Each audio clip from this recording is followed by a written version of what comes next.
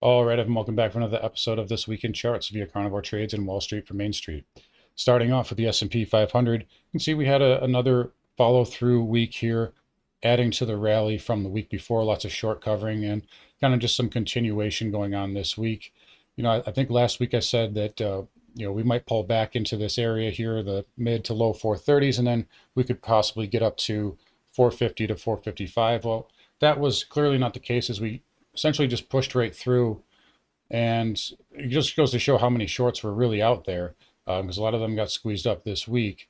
And, you know, we are getting a little short term overbought right now, but it got up to that 453 handle nonetheless. So essentially went to my price target. I uh, just thought we would pull back a little bit before then. Um, but obviously that wasn't the case. And we got up basically sitting right underneath that 100 moving average. Now we are a little short term overbought. We are into some resistance. You get the, the sense that the market market participants are essentially just waiting for a pullback. Um, we know the market's a little overbought here, and everyone's kind of waiting to see when that pullback is going to happen. And the bears are essentially looking to short here and expecting another leg down. As far as that is concerned, I wouldn't rule out another leg down here. You know, anything can happen, but we we just came from. You know, I showed you that bull bear ratio. Um, I can flip it up uh, right here really fast. Again, this is the updated one here for, for this week. But we got that crossover and, you know, we're not really, we're not even back above 40 yet. Um, so while sentiment is getting a little bit uh, more bullish here on the street, you know, you can't go from that, that condition to, you know, essentially, you can't go from fear to euphoria in a matter of two weeks. Um, or really a week and a half. So I think that, that you know, if I had to make a guess, we probably know, maybe we have some range bound chop, and I wouldn't even rule rule out you know a pullback or a consolidation, and you know possibly a move up here. Um, th these pivots right now are are very major resistance though on the spider, so I don't think we can get up there just yet. But then you know again, I do expect another leg down in this market at some point this year, but I just don't think conditions quite favor it just yet uh, overall. But that doesn't mean it can't happen. You know, we have major geopolitical events going on, so that can always throw a wrench into things.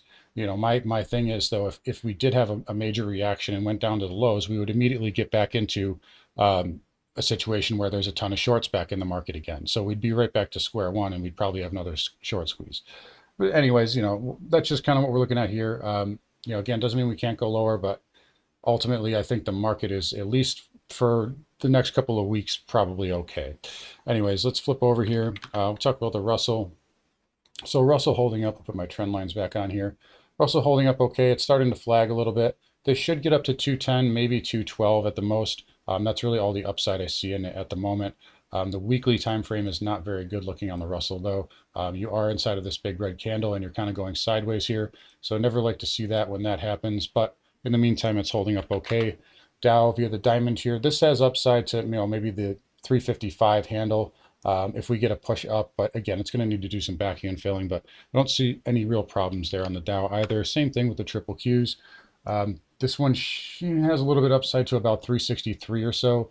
Again, may need to do some more chopping or so, but you know, triple Q is holding up okay. And you know, inside of tech, you know, take a look at Apple. I mean, just look at this. If this isn't a short squeeze, and then probably you know a short squeeze at the bottom and now a gamma squeeze at the top. I mean, I don't know what is. Uh, nine days in a row up.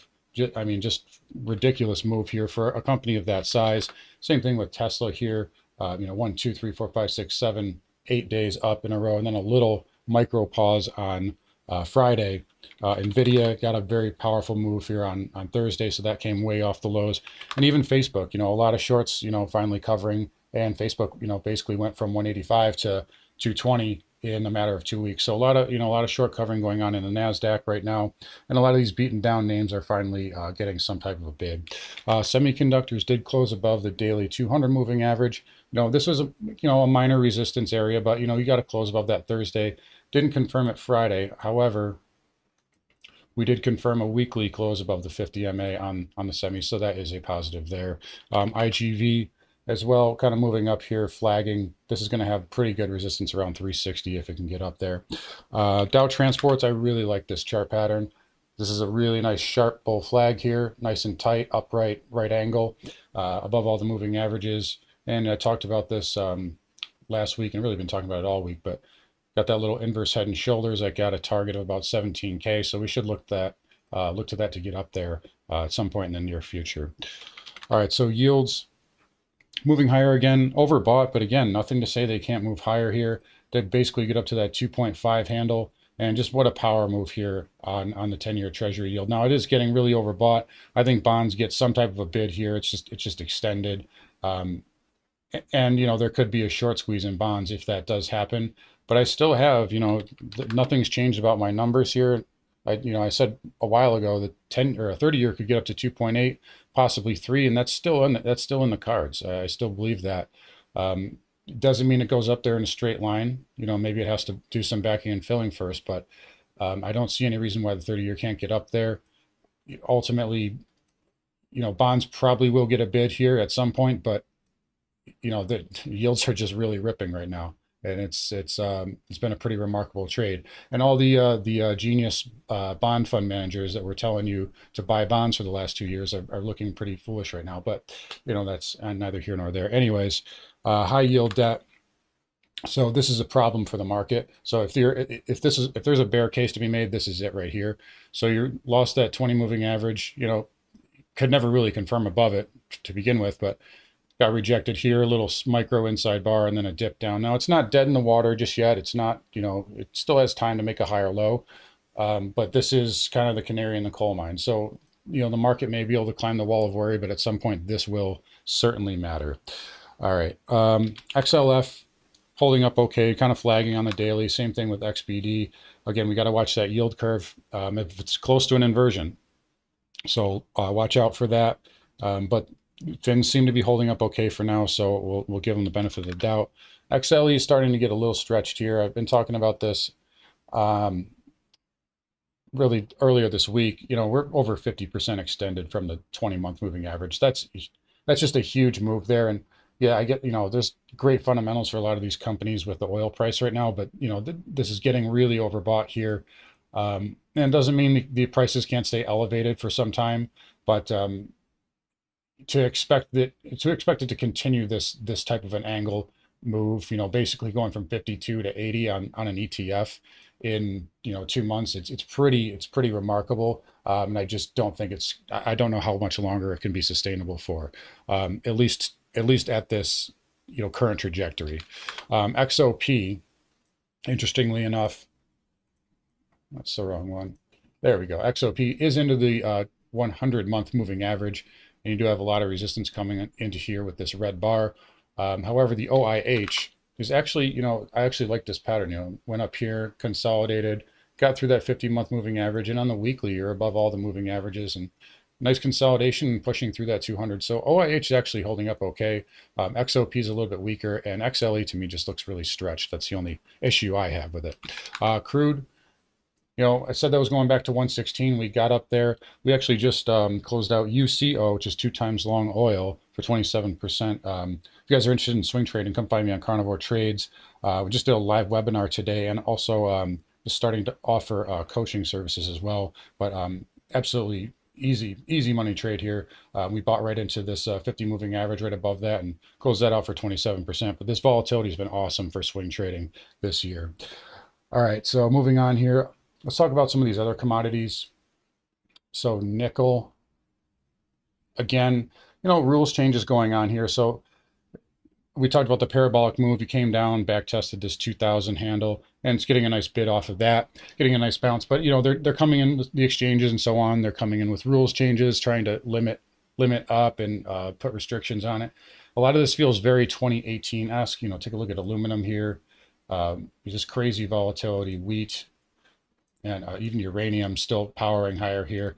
But you know, it feels very 2018-esque. And what I mean by that is in January of 2018, a bunch of hedge funds and uh, family offices complained essentially that you know the vol products VXX, UVXY were too much had too much uh, leverage, so they got them all nerfed down. Um, you know, there's rules changes going on all the time, and this is really no different.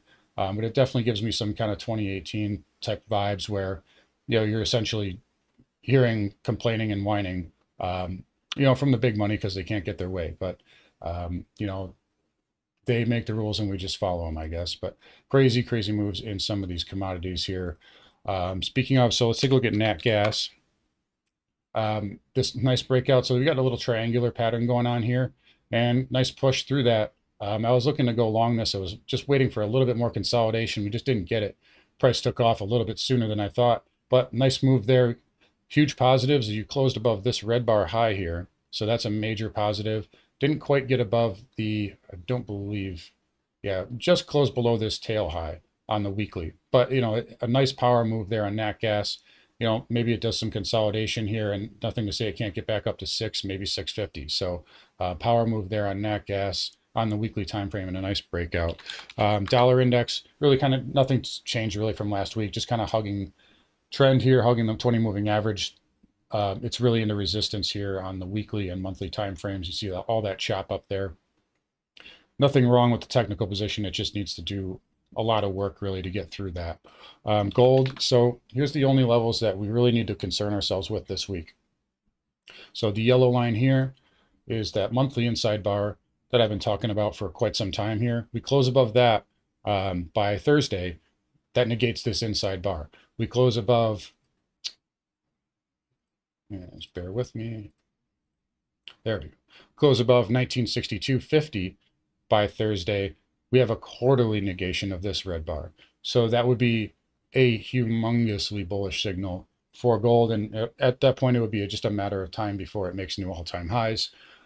Uh, doesn't mean it'll go there immediately. You know, it may have to consolidate and so on and so forth, but that would be an enormous sign of strength. So we'll see if they smash it down. Be, I'm very interested to see where we close out the quarter and the month this week on gold. The positives here, GDX is holding up okay um, it's actually getting a better bounce than spot gold. So that tells you that spec money is, you know, um, coming into the market. You see the same thing on silver. So silver, you know, retracing pretty sharply. Got a decent bounce on Thursday, but you look at the SILJ. This is a nice, you know, above all the moving averages.